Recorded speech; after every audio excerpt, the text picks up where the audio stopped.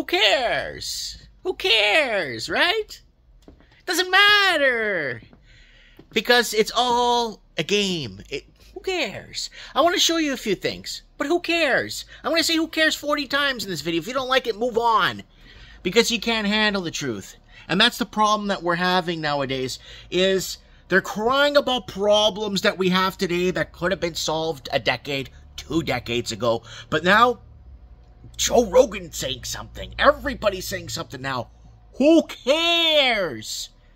The problems were already seen and implanted. I'm just going to go into basic, just very, very, very basic real estate and very basic uh, uh jobs. Just very basic. Very basic. Canada added 500k uh, people, but no new business. So what does this mean? So Canada hasn't added any businesses, private sector, right? Who cares, right? What do we tell you about small business? Small business bankruptcies is easy now. Everyone is broke, taxed to death. Wake up, people. 50% of small businesses can't make June rent. They're taxing us to death. Years ago. Look, seven years ago, major retail closures ahead. Is retail dying or will people uh, want to window shop again? Migrant crisis taking jobs. Walmart plans to close several stores. Government sanctioned Taco Bell coming soon. Uh, it just it doesn't, it doesn't end. They'll tax us to death. And Canadian GDP driven solely by public admin. Business growth turns negative.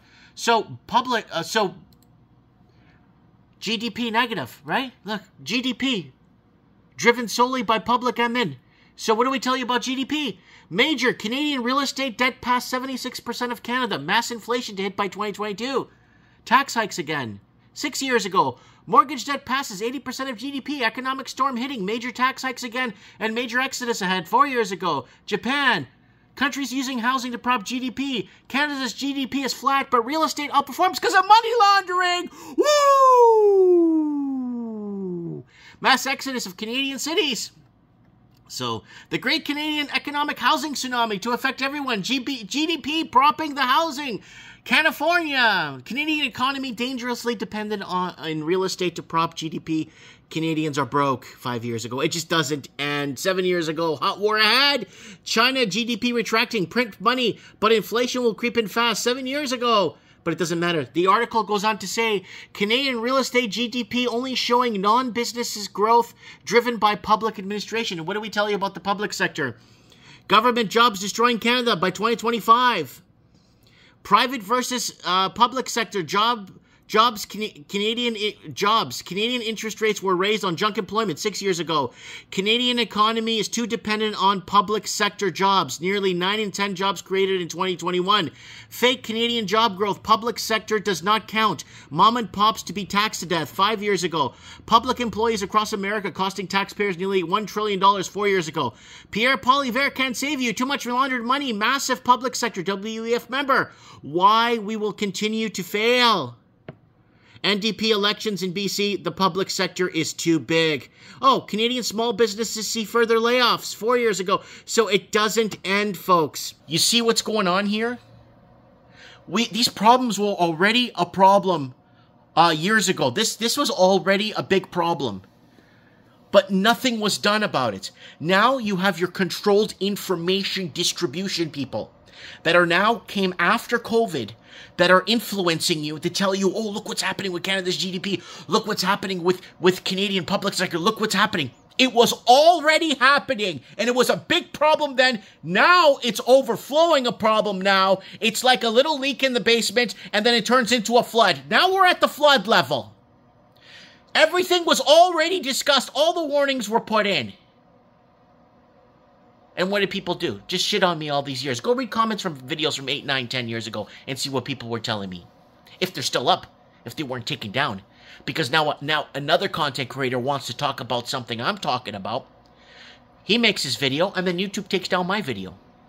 All post-COVID, and if they're pre-COVID, they're doing hang gliding videos, tool videos, uh uh, uh, uh, uh, aerosol videos. They were doing videos about everything except what was going on. But for some reason, everyone got reached out in 2020 and 2021. I was reached out to multiple times. So what is Canada talking about now? This is the headline, the biggest, biggest CBC Canada. Canadians broadcasting crap. This is our big story right now that's running running headlines everywhere. Trump accused of new threats against rivals as campaign enters final weekend. You see? That's the main story in Canada. Bullshit. We're falling apart here. We've been falling apart for years. And if you see you see what's going on? You guys don't get this yet, don't you? And then Joe Rogan says something. Yeah, thank you, Joe Rogan. Joe Rogan responds to YouTube censorship of Trump interview. Really? You get 1.9 million or 1.8 million dollars an episode for your show? I get 30 cents an episode for doing Mike of the Nights, and all you do is regurgitate everybody else's stuff and their monologues, and you run with it, and you get paid $1.8 million.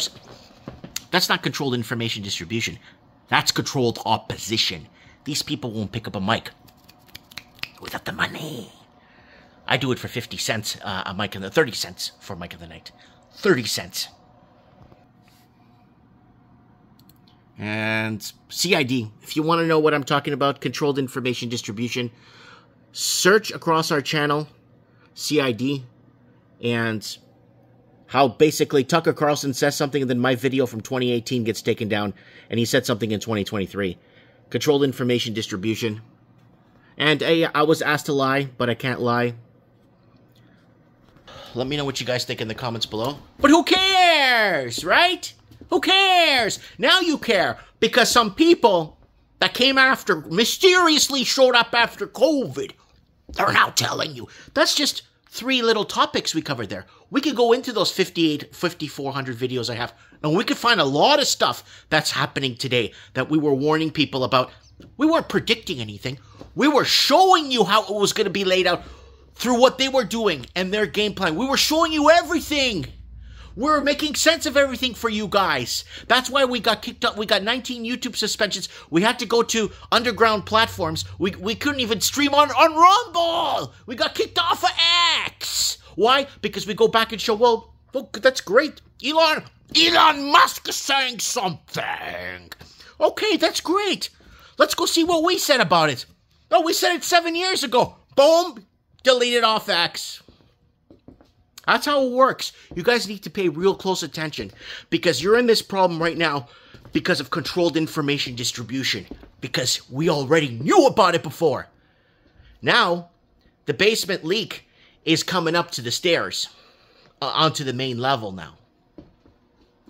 Mike Martins here. I have spoken.